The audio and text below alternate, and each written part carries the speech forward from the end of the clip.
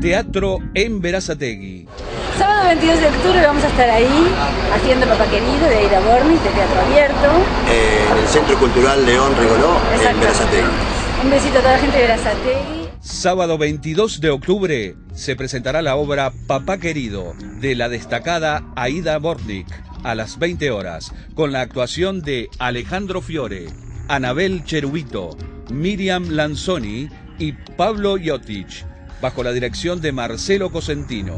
Entrada anticipada 40 pesos, presentando la cédula de identidad ciudadana 30 pesos. Capacidad limitada. www.culturaverazategui.gov.ar